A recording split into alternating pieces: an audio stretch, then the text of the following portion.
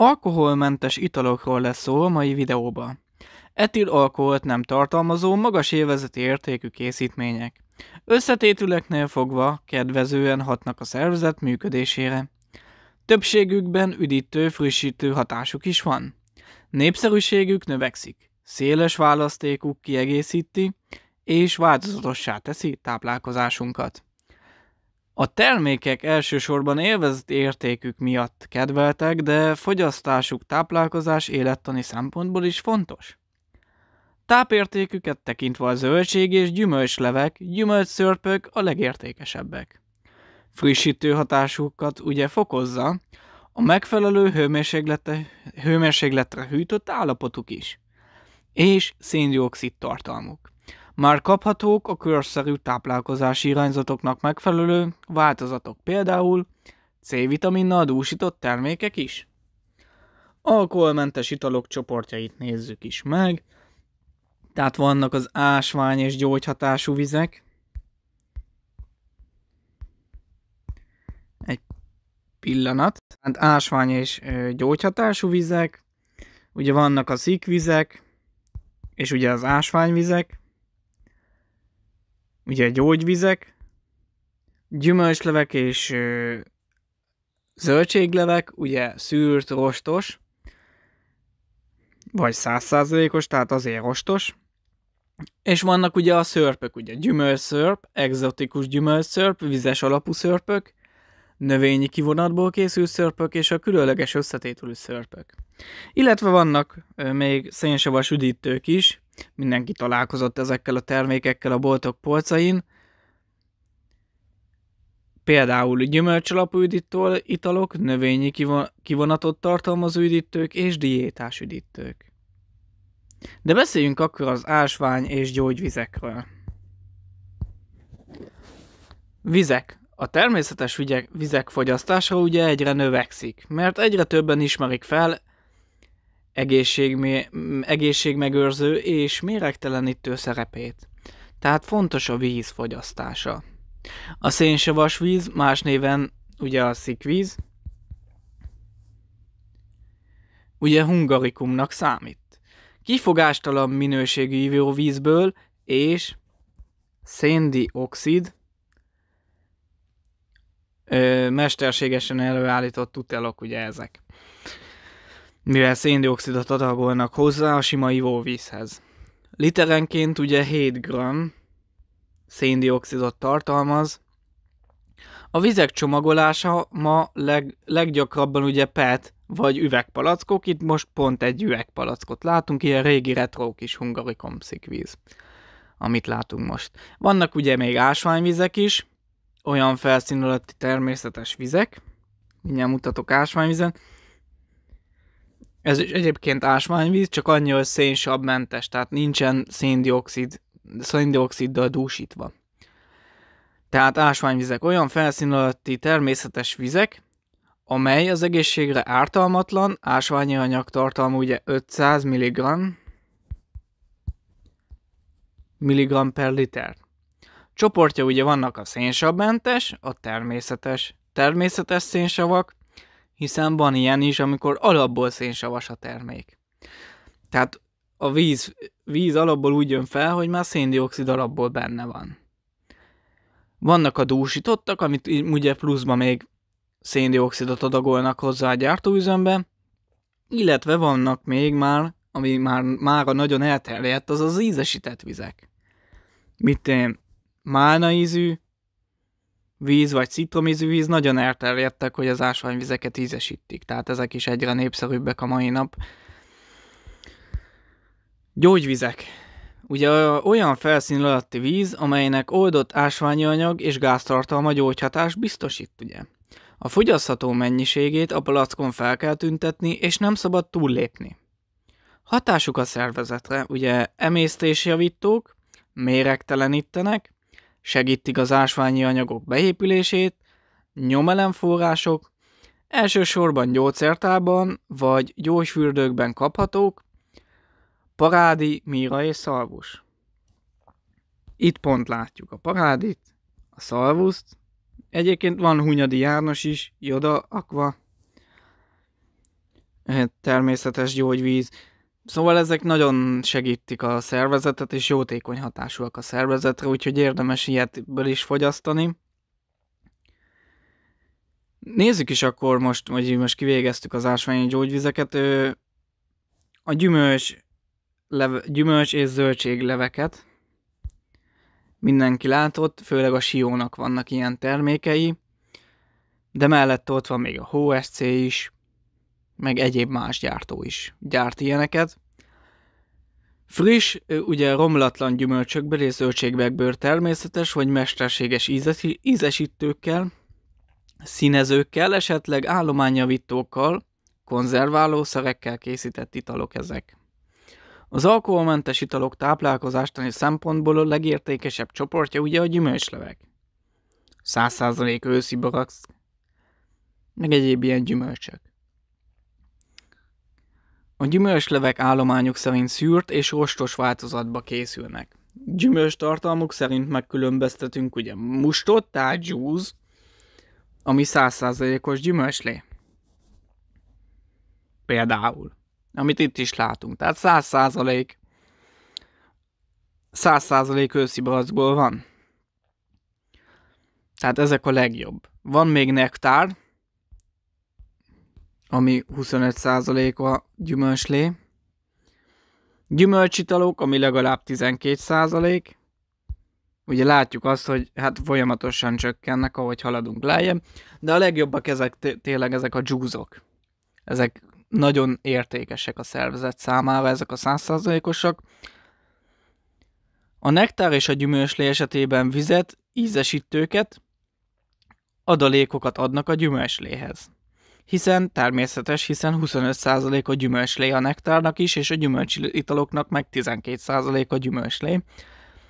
Tehát a többi az vagy víz, vagy ízesítés, egyéb adalékanyagok. A gyümölcsöket vegyesen is felhasználhatják, adag, adalékonként ugye vitaminokat, ásványi anyagokat adhatnak a termékhez, és multivitaminként hoznak forgalomba az ilyen termékeket. Tehát van ilyen is. Tehát a nektar és a gyümölcs leesett, ugye vizet, ízesítőket adnak, még egyéb adalékanyagokat, meg plusz vitaminokat, és már is kész a multivitaminos üdítőital. Zöldséglevek. A zöldségek közül leggyakrabban a paradicsomot, a sárgarépát, a sütőtököt és a céklát dolgozzák fel nyersanyagként. A cékla antocián tartalmaz színezőanyagként a levek előállításánál is gyakran alkalmazott vegyület. Kedvelt termékek a kereskedelemben a gyümölcsökkel kevert zöldséglevek. Ezek a termékek magas biológiai és élvezeti értékűek, hiszen gyümölcsök vitaminjai és ásványi anyagai tartalmazzák. A rostos változatukban az emésztés segítő rostok találhatók, édes, jellegzetes ízűek és üdítő jellegűek.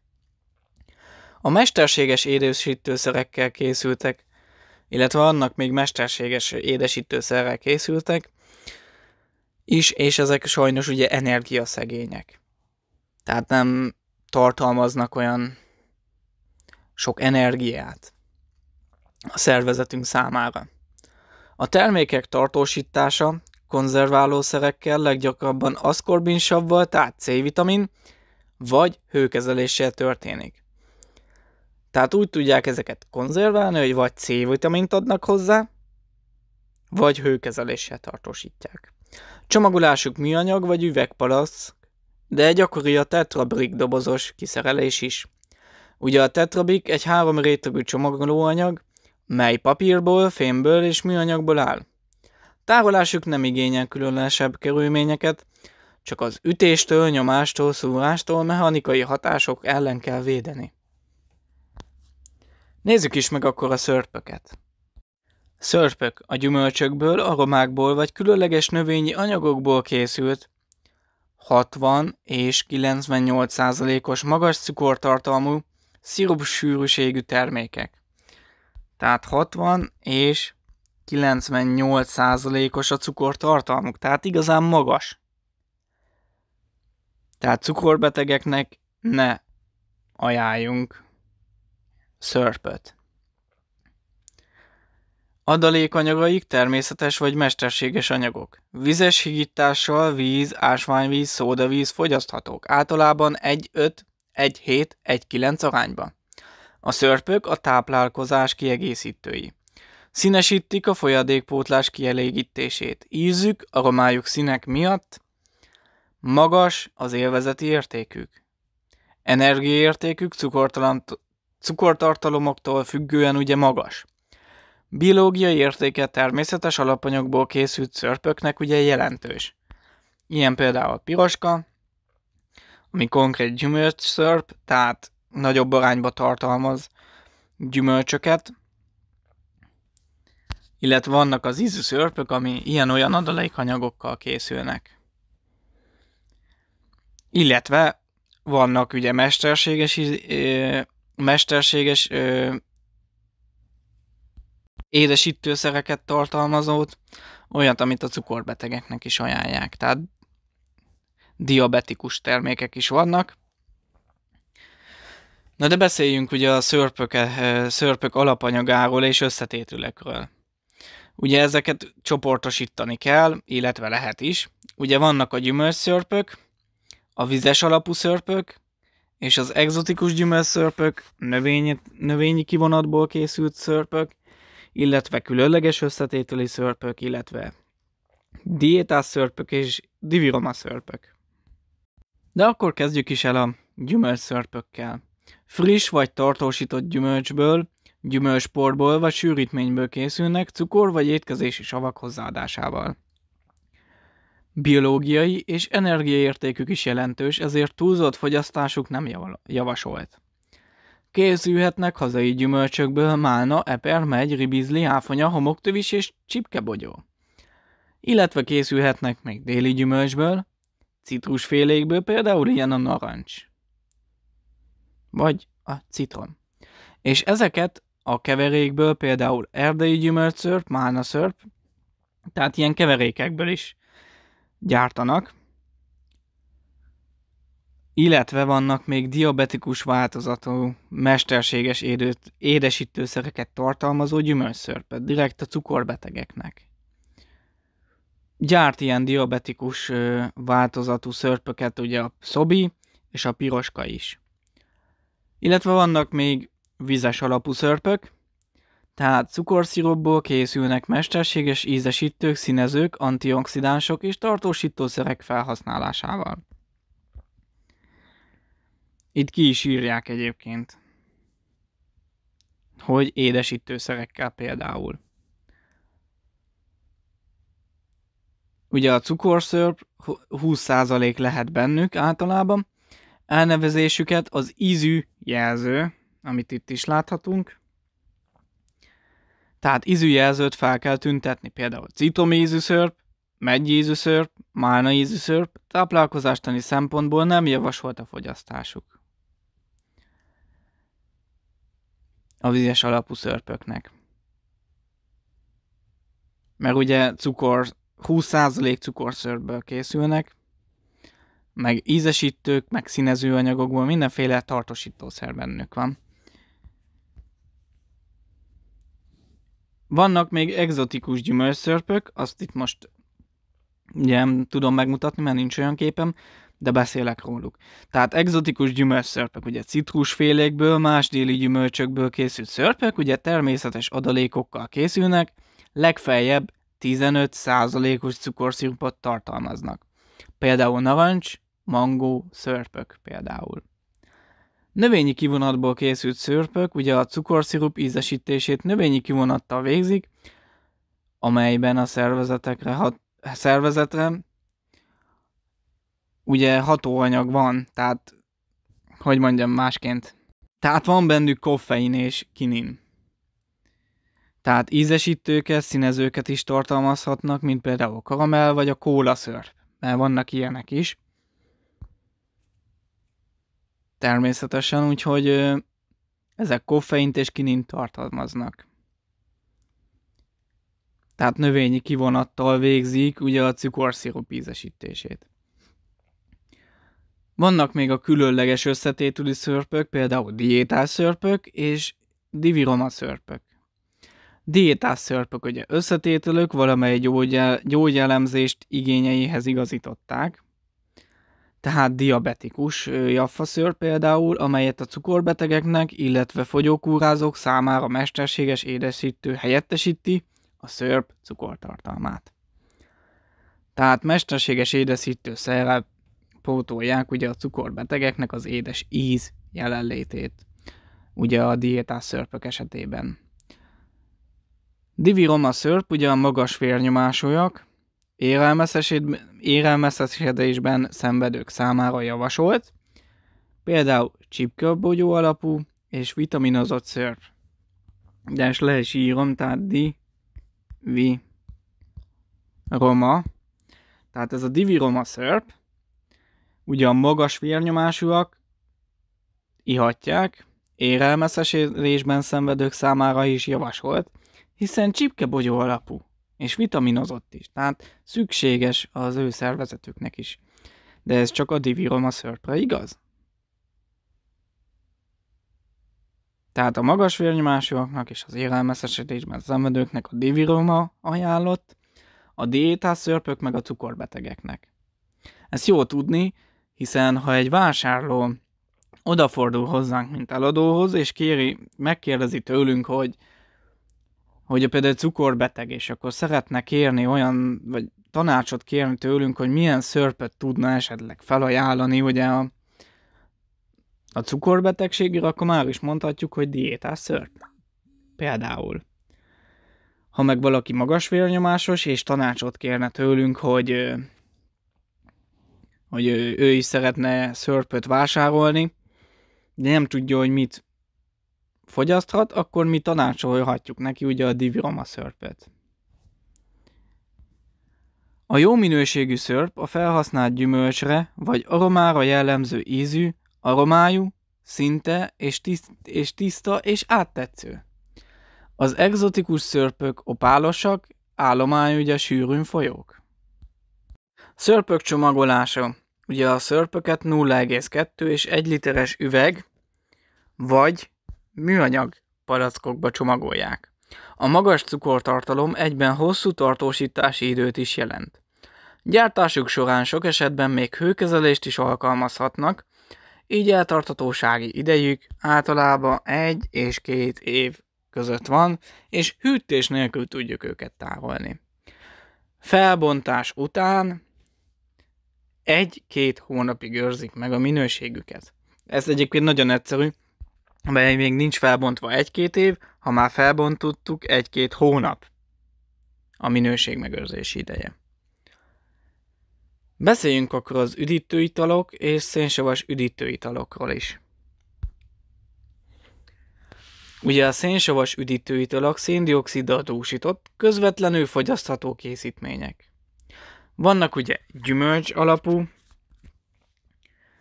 üdítőitalok például, ugye a Fanta, és a Miranda és a Seven Up, vagy a Sprite.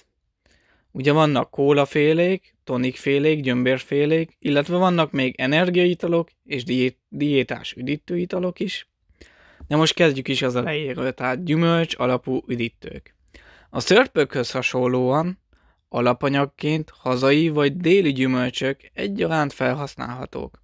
A termékek sose, sok esetben valódi gyümölcsöt nem, csak aromát tartalmaznak.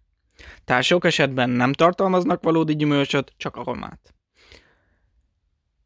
Ilyen gyümölcs alapú üdítők ugye a Fanta, a Sweppers, a Mirinda, a Seven Up és a Sprite. Illetve vannak még növényi kivonat alapú szénsavas üdítőitalok, ilyenek a kólafélék. Hazánkban nagyon keresettek. Importált alapszörből, más néven koncentrátumból készülnek víz és széndiokszid felhasználásával. Sötétbarna színűek, üdítő hatásúak, ami a széndiokszidtől, a koffeintől és a teobromintól származik. Ilyen a Coca-Cola, a Pepsi-Cola, és ezeknek egyébként a receptjük titkos is, ezért érkezik importálba az alapszörpjük. Tehát itt Magyarországon is gyártják a Coca-Colát, mert van Coca-Cola gyár, de a szörpöt nem itt készítik, hanem úgy hozzák be. és senki se tud róla semmit, mert a recepte az titkos. Vannak még ugye tonikfélék, keserű ízhatásúak, illetve vannak még gyömbérfélék. És akkor beszéljünk most az energiaitalokról. Frissítő, serkentő hatásúak, koffeint, taurint és vitaminokat, esetleg kálciumot tartalmaznak.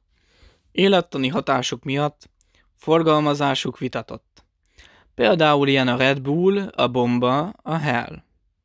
Az energiaitalok nagy mennyiségű koffeint vagy egyéb legális stimuláló szereket, gorantát, ginzenget vagy taurint tartalmaznak.